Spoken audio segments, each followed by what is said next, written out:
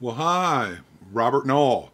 You're at the Guitar Zone, and you're in for your third lesson today of 53. A lesson every week for a year. So this is the third lesson, right? So what I want you to realize is right now it's about reviewing.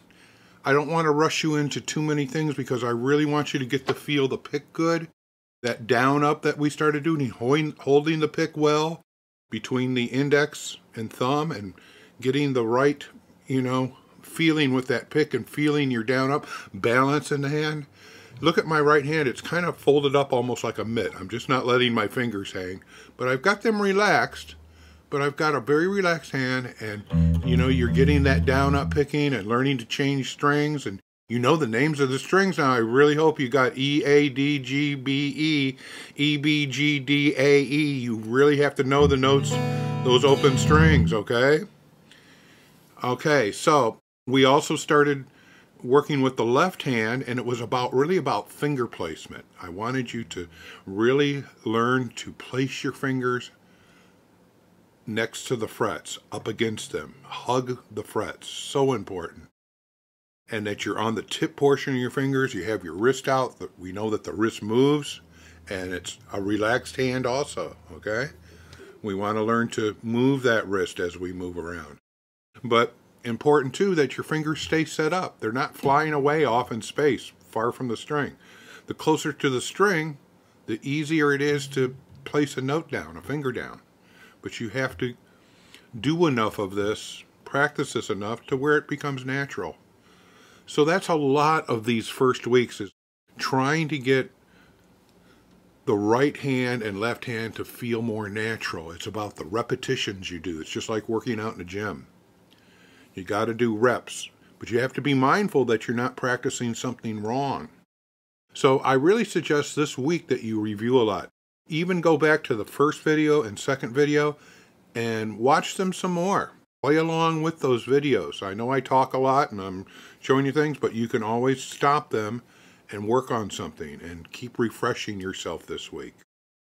Well, this this week's lesson is going to be uh, focused on tuning your guitar. I thought this is really important by this third week that we really talk about tuning. We haven't done that, and it needs to be talked about today your guitar, is very important that you're in tune. If you're not in tune, then, you know, your ear isn't picking up the right sounds.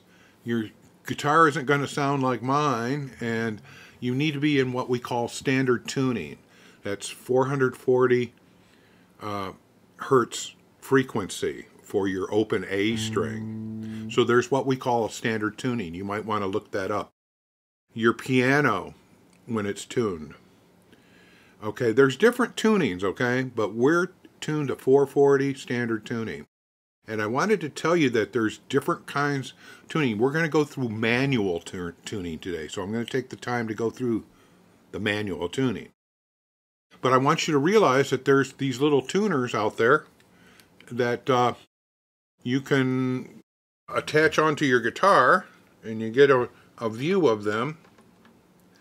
And when you look at these tuners, see if I can get this one on, you, you have a visual and it actually, when you hit your low E string, it tells you, it knows you're hitting your E and it says E on there. You can see that when I, it's telling me E and you're getting an indicator that the bar, when you get the bar in the middle, the, in this case a blue bar, then you're in tune and you have to learn to bring your strings up and down. You want to do it very carefully at first until you start hearing how your guitar is tuned, but visualizing it is a really good thing. These little tuners are 10, 15 bucks, okay? Music stores have them, they're online, eBay. This happens to be a snark tuner, okay? Very popular these days. Keep it on your guitar and you just got to turn it off, okay? The other kind of tuner, free tuner, for like your iPhone, your computer, or your iPad is the what I use is called the Boss Chromatic Tuner. It looks like the foot pedal that I have. This is a free your Boss B-O-S-S chromatic tuner. And it works much the same when I when I hit my my D string or my A string, it tells me A. And you see that little green light. Well, when that green light in the middle stays there and doesn't go red, then you're in tune. But you have to let your note ring and hit the note loud enough to where the iPad or your iPhone picks up the volume, picks up your guitar. Now I'm electric, so I'm a little bit louder, but you could do this with an acoustic guitar or classical guitar. So this is a great way to learn to tune. You visualize, you hear the frequency, you have a visual. And I suggest that every guitar player have a tuner as such as the chromatic tuner. Um, this is actually called a Boss Chromatic Tuner TU-3W Waza Craft. Looks kind of cool. You can customize the look and all kinds of great things. But anyways, I wanted to show you that. And uh, there's lots of different kinds of tuners, electronic tuners these days. And some guitars, you might even buy a guitar that has a tuner built in. You've got to learn to work that tuner and learn how to work it. Like I said, most cases you have to hit the, the string loud enough and let it ring so that it registers. Okay, so I want to be able to hopefully get into a few different things today with you, but I wanted to talk about uh, also about uh, the manual tuning, okay? So we're going to take for granted in manual tuning that your E string is in tune. Now, if we if you check this on a tuner, you know your E's in tune, you can practice manual tuning. But to tune my A string, I need to go to an A on my E string, my low E string, which would be the fifth fret. So I'm going to take my second finger and go to the fifth fret, and I'm going to hit that A note.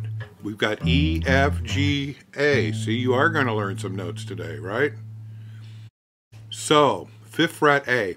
When I hit that A, I'm going to hit my open A with it. I'm going to strike them together. And because I'm in tune, they sound the same. Now, if they didn't sound nice like that, that A could sound flat and would sound like that. And I'd have to tune it up away from me. Tune the, the pitch, the A string. So we have to get good at using our tuners, whatever you have, three on one side, three on the other side. So you want that sound. If you go too high, it's going to sound really bad. So I have to bring it down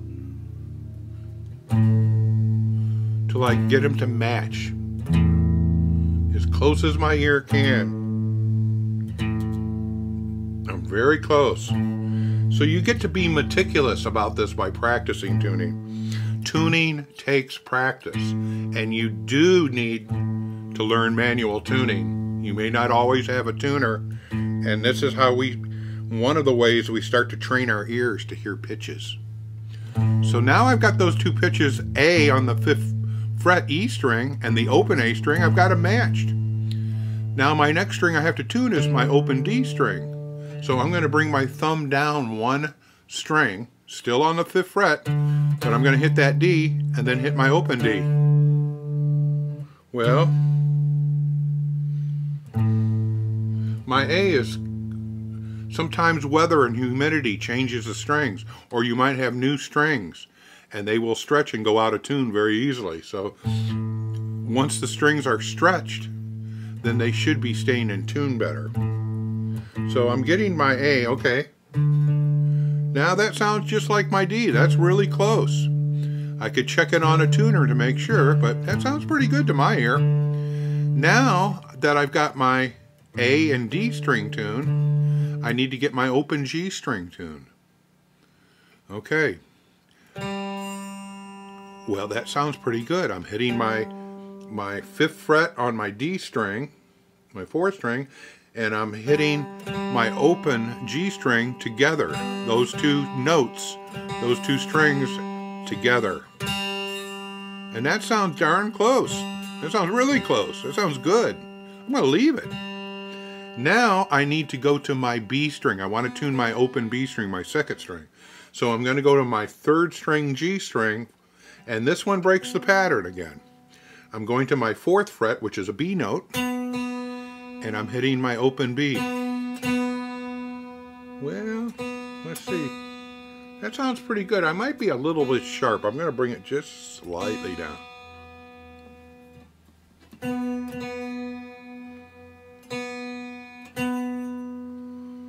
Well, I'm going to bring it back up. A little bit. Sounds pretty close. Now, once I'm satisfied that those two notes, those two B's sound right on my fourth fret, I go back to the fifth fret from my first finger to my second finger, and I've got to hit my fifth fret E on the B string and hit my open E, my first string, because I want to tune that note. So if that wasn't in tune, it might sound like like that, or even worse. And I'm going to tune away from me and carefully until I get those two two notes to sound the same.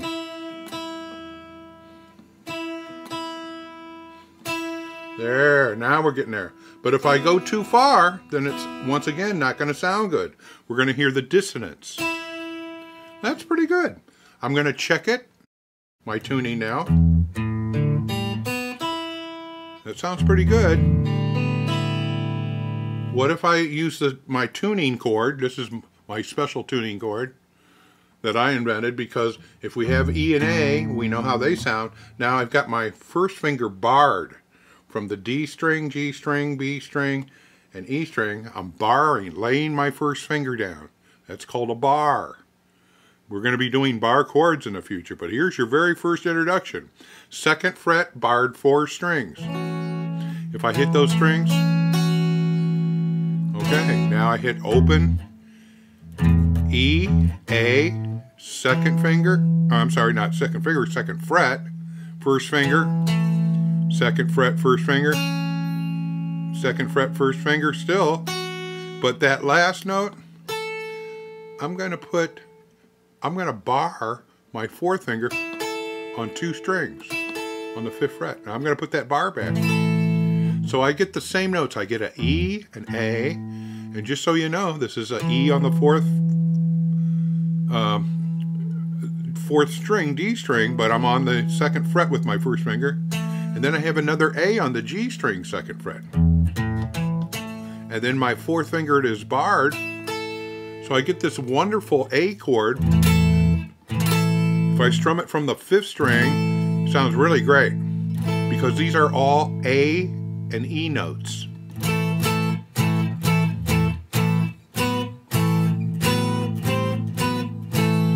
Anyways, that's a little trick. If I ever ask you to play your tuning chord, that's what I want. Okay, so wow. So we've learned the method here. This is the standard, this is our, our basic method of tuning. Back in the old days, before electronics, we would get a pitch pipe and you'd blow that pitch and it would usually be that open A pitch on the pitch pipe and you would tune your string and then you would go about tuning your other strings. Some guitar pitch pipes would have a wow for an E, A, D, G, but that was before electronics started coming in. then the electric guitars, we started getting foot pedal tuners and, and such. These days, they're on our phones, our iPads, our computers. Uh, you can buy the uh, the little ones like I showed you, the snarks.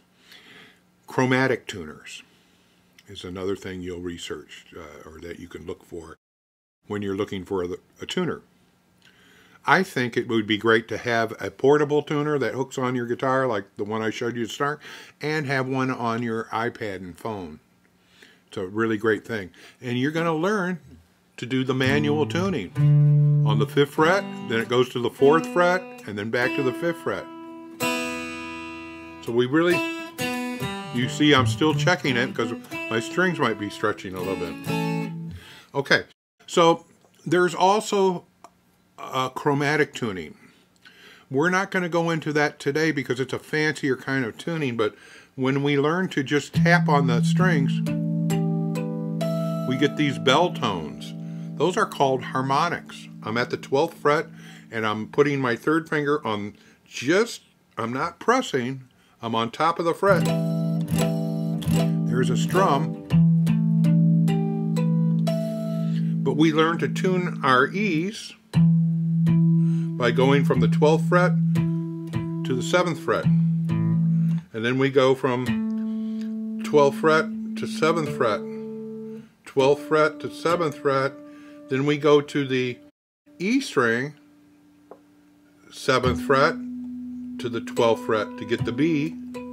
And then we go from E, E 7th fret to E 12th fret.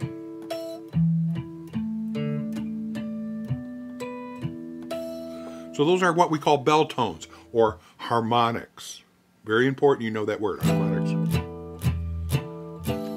And there are some guitar players, some styles that they learn to play total solos and songs with harmonics. Really cool sounding. Something you might want to investigate. It might be part of your style in the future. Okay, wow. So we got into the tuning lesson. So you're going to always check your guitar. It's the first thing you do when you pick up your guitar and you get setting comfortable with it, you get plugged in, whatever, or your acoustic guitar, classic guitar, you want to go and am I in tune? You want to ask yourself that question. You want to be patient. And you want to go about maybe hitting a couple little chords that maybe you've learned, but you want to go through the method, the manual method, and see if all your notes sound like they should in unison. Then go to your guitar tuner and check yourself. You've got to explore. You need to go on a guitar tuning exploration or an adventure, a safari of tuning, a mission to tune your guitar. And you'll get good at it. At first, it's, ah, what am I doing? You know, am I doing this right or wrong? You're liable to put your guitar way out of tune, maybe. It sounds terrible. But that's what it takes to learn. And I'm sure there's a lot of uh, my friends and other people that have videos out there about tuning guitars. So you go to YouTube, go to your Google, and type in guitar tuning, and you'll probably see a whole bunch of videos.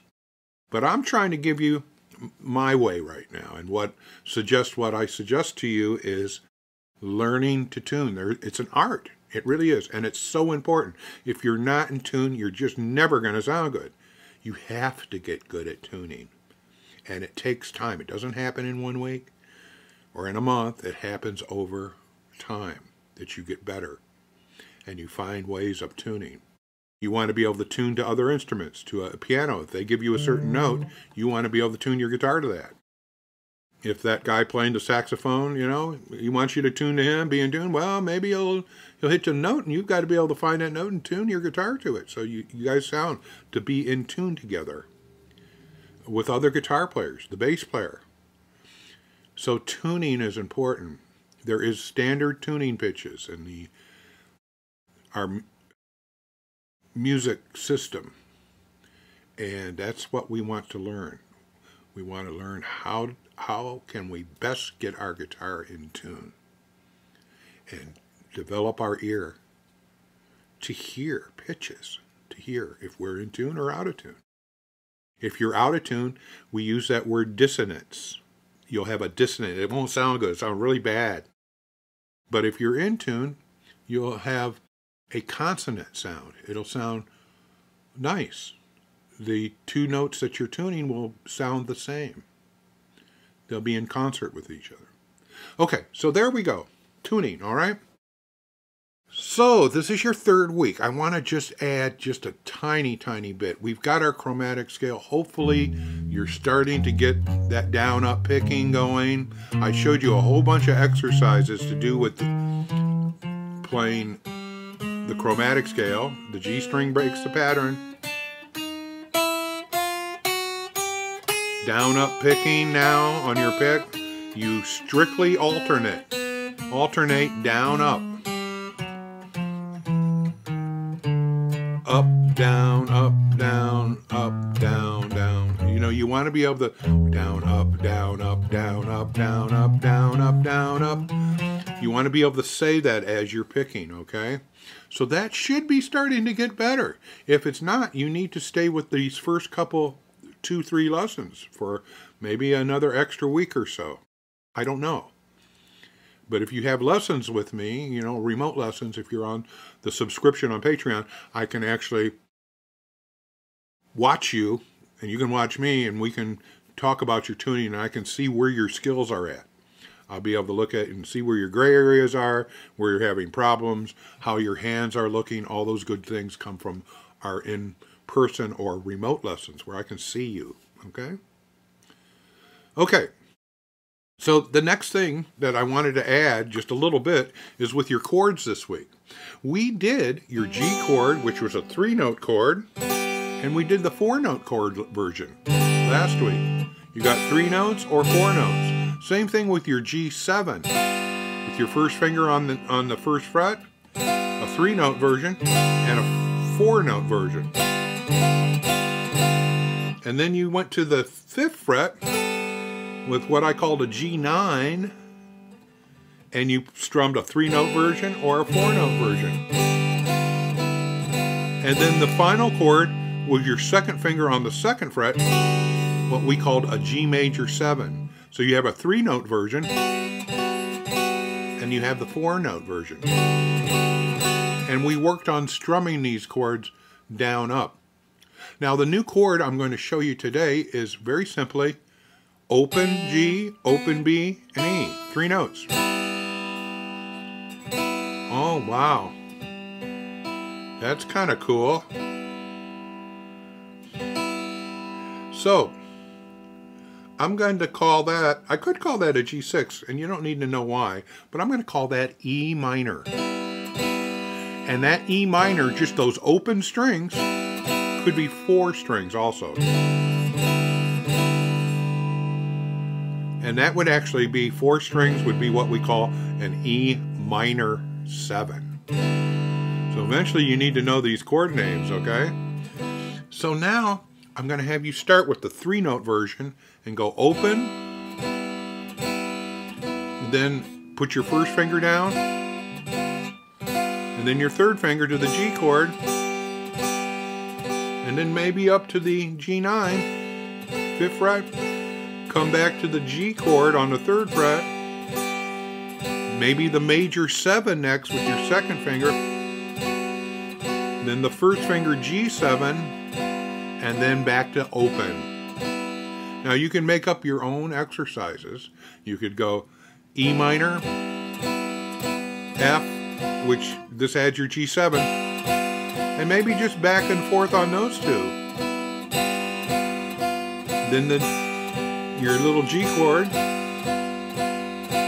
third fret, first fret, open strings. Two hits on each.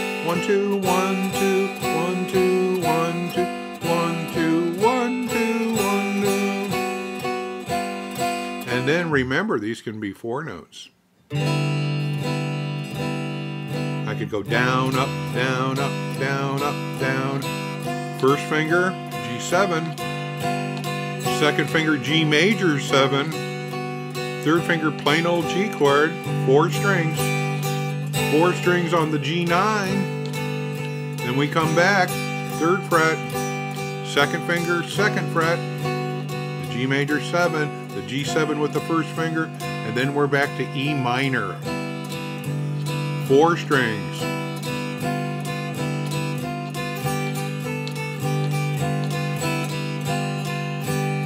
What if I ask you just to go up, up, up, up, up,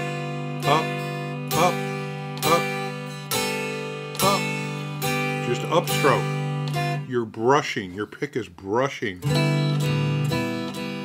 Just like you're like you're painting something, okay?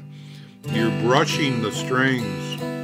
Notice my wrist and my arm flowing down, up, down, up, down, down, down, down, And then I could go up, up, up, up. Three strings or four strings. I got to be able to do either or. Down, up, down, up. I'm going down on four strings, up on four strings. So you want to be hearing that you're getting that open D string in there. All open strings. Okay, so now the new chord this week, we're going back to three three notes. It's putting your first finger on the B string. You know, your second string is your B string. So you're going to put your first finger on the first fret. And this note, I'm going to tell you, it's a C note. B, C. So open B, second string to first finger, B, C. B, C, new. B, C. Okay. So, when you press that first finger down, you want to be up next to the fret. You're on the B string. And now you want to be able to clear. You want to hit your G string. And now you want to hit that first finger C note. And then you want to be able to hit your open E. You want to be clearly get three three strings. See my finger? I'm going to bring my fingers down just so you can see my first finger here, right? It's on the sec, not on the E string. That would be your F. That would be your G7 chord. This is your little C chord. So when I strum that little C chord, three strings, I can maybe practice going from C to G, which is your third fret. First fret, B string, third fret, E string.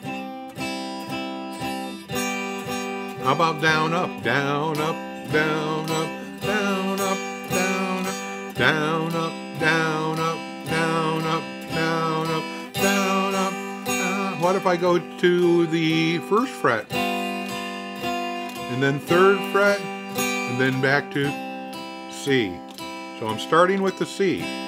C. Little C chord, little G chord. Now I'm going to go up to the fifth fret, back to the third fret, then I'm going to go to the first fret. Maybe I'll go back to the third fret. I'm kind of making up my own little exercise. And then my C. So this is where you have to learn that you when you press another note on another string, you've got to you've got to be, have your first finger so it doesn't interfere with the top E string or low G string. That's why you've got the tip of your finger. That's why tips of fingers are so important.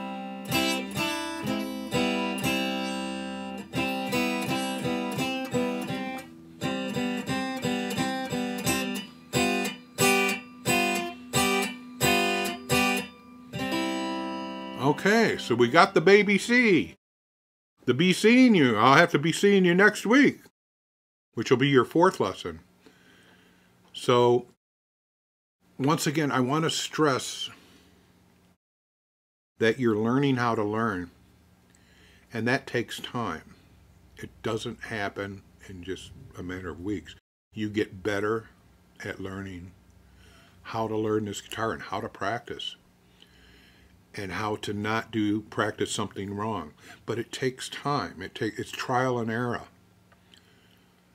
Uh, this is why personal lessons are, are really important, you know, or that I'm able to do a remote lesson with you and we're able to see each other. That's really important. So, this is something you might think about soon, maybe, or down the road a little bit. There's also an application I'm going to tell you about that I'm going to want you to eventually get on your computer. And uh, we'll we're not going to do that today. But another thing is is being able to learn to practice with these videos. You know, you have them on your iPad maybe where you have a nice view or your computer, or maybe you carry it around on your phone. But you need to be able to hear me well and you need to be able to see me and learning to use your stop your the video and then work on something and then restart it or rewind it go back so you have to get good at using your tools Just like you're going to learn to use your tuning tools, your uh, your uh, tuning electronic tuners. We have to learn these things. But once you learn them, you know, you'll look back after a while and go, "Wow, that was really weird when I first tried to learn this," you know. But uh, now I've got it. It's working for me. It just it takes time to learn. And you have to be patient. But you have to keep going back to it. You know, these skills are about your coordination of your fingers and your muscles and your fingers getting stronger. But it's not just the geographics here and using our rules of finger placement.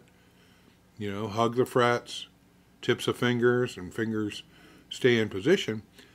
But we're trying to be mindful of all these things at the same time so that you develop a skill, so that you play this way all the time. And as you learn chords, you'll look at shapes, triangular shapes. You'll look at things on the guitar in shapes. And that's going to be really important when you learn chords that you start to see shapes. You know? And um, that will be very helpful to you perseverance. You have to persevere. You have to really want to play guitar.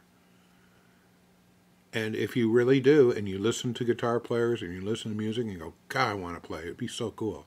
Well, just wishing doesn't do it. You have to, you have to pay your dues. I like using that word because I'm from the blues school of guitar, right? You got to pay your dues. You got to pay your dues in life and anything that you want to get good at or you want to understand. It's about maybe doing the wrong things and having issues and problems, but you overcome that by learning and practicing. Practicing is an art. And it doesn't happen by wishful thinking, but you can, if you keep in mind and be mindful of it, you want to learn to practice better all the time. How can I learn this? Is there's no magic, okay? I'll guarantee you there's no magic I can wish for you or wave a wand or, you know, uh, there's, there's none of that I can do. It just doesn't work that way. Uh, but if you can get beyond the magic wish and make your mind, condition your mind to learn, there's psychology to learning, uh, and neurological, uh, how your brain works, how it learns. These are things you might look at and study uh, do some searches on the psychology of learning music, uh, the psychology of learning. How does the mind, how does the brain learn and memorize? These are things that might, you know, interest you, and and you might uh, might help you if you if you know about some of these things. Maybe I don't know. Know, there's some guys that gals, uh, you know, uh, humans can be total idiots and they can learn to play an instrument be great, you know. But for the most of us, we have to study. We have to learn how to learn. We have to get better at learning. And uh, I can just tell you from all the experience, all the years I've had, that it gets better if you keep going at it. I had lots of guitar teachers from my early days. My first teacher uh, was a lady. She was a folk artist. Her name was Jan Johnson. And I was just a little boy. I was like a little five year old boy. And I would go to her house for lessons. And you know what? She was so kind and so good to me. I actually learned to read music. I had this little Alfred Noble book. And I would go through every week and she'd put little stickers, you know, on it. I did good on that and kept going. And that was really great. And then I had other teachers that you know, there were some that weren't so good that were kind of wasting my mom's money that she was paying, but we didn't know. But then I had good teachers. I had wonderful teachers. I had one of the legendary teachers, uh, Joe Fava, who had the Joe Fava guitar book course. He was actually a New York session guitarist that lived here in uh, the outskirts of Detroit. But I took me a long time to be on a waiting list to have him for a teacher. But I think I had him when I was about oh, probably 11 or 12 years old. And I had him for a few years. And back in those days, I was playing guitar in uh, the uh, church services, the folk services that I, I was involved with, with the Lutheran Church. And uh, the choirs I was singing in, and I had vocal lessons. My mom really saw that I loved music. Being at the age of, uh, I think, nine or ten, I in the 66, 67, I had a band. We were we were called the Purple Plums, you know. If you look at bands, you know, we were inspired by the Beatles and and the Monkees. We tried to be like them, you know. And we found that we loved music. You know, we had costume purple shirts made and and uh, guitars and the girls uh, chased us around uh, at school and and we thought that was great and we made a couple bucks playing these little jamboree garage uh, gigs. And uh, we found wow we can make money. Guys you know hey we got girls we got money. Cow we'll be millionaires soon you know which really never happened that way but wow it was just all these cool things about learning how music affected us and affected others and you know i learned that kind of young and it the heroes I had in guitar in those years uh, as a child and uh, preteen.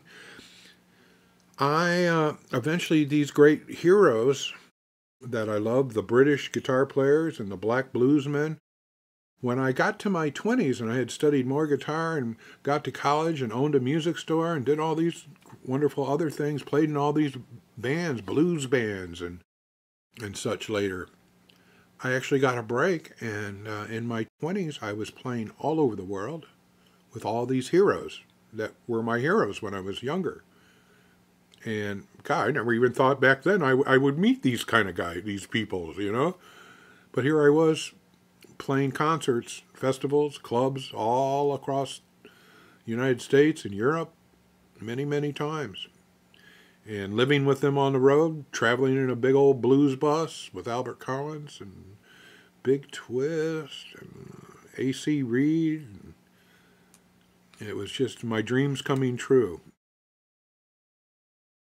And uh, being in the blues band thing was was really really great. I met legendary people. I stayed in hotels with them. I uh, got to talk and laugh and cry with them all.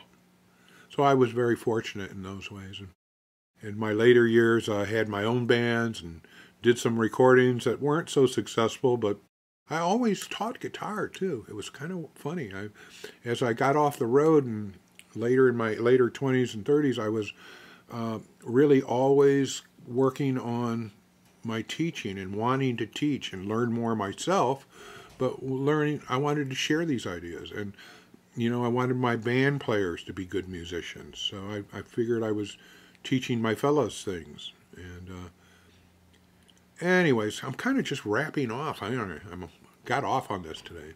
Anyways, this was your third week lesson. And we've got 50 more lessons to come. I so appreciate your being a patron on, on the Patreon site for Guitar Zone and me. It's going to help me do things and survive to keep doing uh, more ideas I have and maybe some more recordings. And I even want to do a podcast sometime. So uh, so you can meet musicians and hear me interview people and oh all these other good ideas I have. Anyways, I'm hoping the best for you.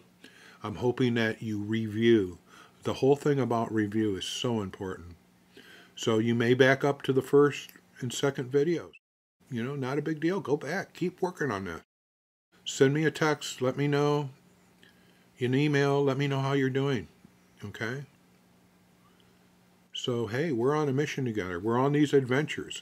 You're going to make discoveries, but hang in there. Don't give up. Music's too cool. It's too fun playing guitar. I guarantee it. It's going to be great. All right. Well, this is Robert Noll at the Guitar Zone. Fourth lesson coming up next week. Try to get in the habit of you've got to practice every day. If you practice in the morning and at night, two different sessions, that's good because you go through the day going, well, I did this in the morning, and then you you review it when you before you go to bed after dinner or something. So the times you practice can be good, but it's what you practice and how you practice and how diligent you are, and that you practice the right things and just don't go off just clowning around because you could do that forever. Okay, I've said enough. enjoy, enjoy your guitar.